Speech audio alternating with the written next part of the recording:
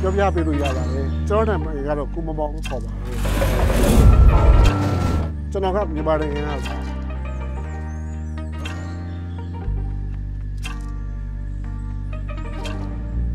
ကျွန်တော်လေးလျှောက်လာတဲ့အကြောင်းရင်းကတော့လေးလျှောက်မှာအလုပ်ကအခွင့်အရေးရှိတယ်ဆိုလို့ရောက်လာတာဖြစ်ပါတယ်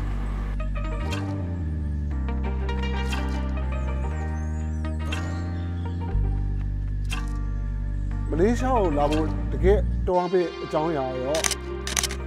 အလုပ်အကင်အတွက်ပါပဲဒီသားစုဝင်အတွက်အလုပ်ကင်လာရှာတာပါ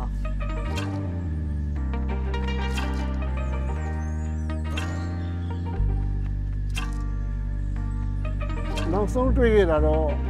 2019ခုနှစ်ကပါနောက်ဆုံးတော့နေခဲ့တာပြန်ဖို့က